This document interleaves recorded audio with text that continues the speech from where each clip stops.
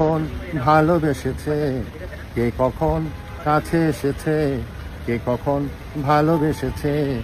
ভালোবাসা হয়েছে ভালোবাসা হয়েছে।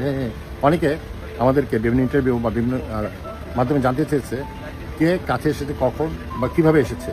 আমি সেই জন্য আমার গলার সুখ খুবই বাজে। তো আমি চেষ্টা করছি গানের মাধ্যমে বলার জন্য। কে কাছে এসেছে ঠিক আমরা জানি না, কিন্তু আমাদের মাঝে ভালোবাসা হচ্ছে এটাই সত্য এটাই সত্য।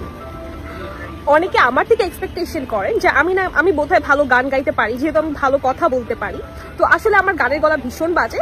সেদিক থেকে আমার বিল্লাভ হাজব্যান্ড খন্দকার মুশতাক আহমেদ খুবই ভালো গান গায়। মানে আমার থেকে তো বেটার আর কি। তার এই সুরই আমার কাছে যথেষ্ট। আর একটি কথা অনেকে বলে আমাকে বলছে যে শুনেন আপনাদের সবই ভালো কিন্তু আপনার ওয়াইফ এরকম এক্সপ্রেশন দিচ্ছে কেন?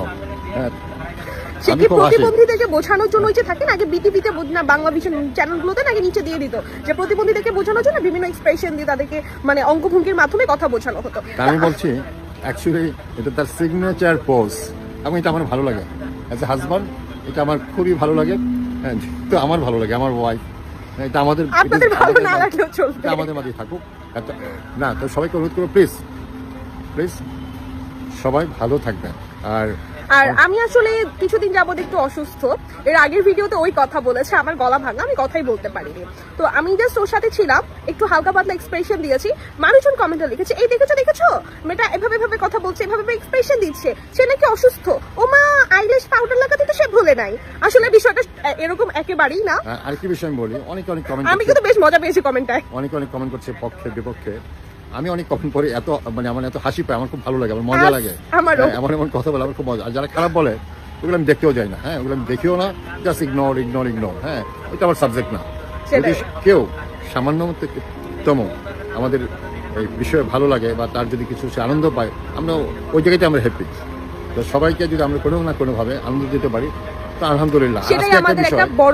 আজকে সকাল থেকে দুপুর পর্যন্ত আমি প্রায় মানে শতের উপর হ্যাঁ হ্যাঁ একশোর অনেক উপরে আমি ফোন পেয়েছি মেসেজ পেয়েছি যে প্লিজ ভাইয়া আপুকে নিয়ে একটু লাইভে আসেন বা একটু ভিডিও দেন আমরা আপনাদেরকে দেখতে চাচ্ছি হ্যাঁ। তো সেই জন্যই আসলে এখন আমরা এটি করলাম এটা আমাদের কোনো প্ল্যান ছিল না। আমরা এখানে জাস্ট একটু খেতে এসেছি তো হঠাৎ করেই মনে হলো ওকে যেহেতু এত মানুষ এতভাবে রিকোয়েস্ট করেছে বলল যে চলো আমরা একটু ভিডিও করি।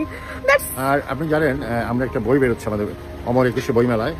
তো উনি জানতে চেয়েছে হ্যাঁ বইটার নাম তিশা অ্যান্ড মুশতাক। তো অনেকে জানতে চাই বই কি থাকবে না থাকবে? এগুলো সব সিক্রেট কারণ আমরা ইন্টারভিউতে অনেক কথা বলছি। যে কথাগুলি বলি নাই সেই ধরনের কথাগুলো এই বইয়ের মধ্যে থাকবে। এবং আমি বলি যে পার্শ্বটা নিশ্চয়ই হ্যাঁ এই বইটা তাদের ভালো লাগবে। এবং সবচেয়ে সুখের ব্যাপার আমাদের জন্য ইতিমধ্যে আমরা প্রায় পাঁচশো প্লাস ফাইভ হান্ড্রেড প্লাস আমরা অর্ডার পেয়েছি। এই বইটি নিতে চাচ্ছি। ইভেন এখন আমি তো কোনো বিখ্যাত লেখক না রে ভাই।